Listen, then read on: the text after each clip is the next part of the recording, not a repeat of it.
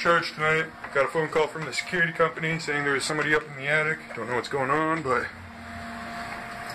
Is there someone over there? Oh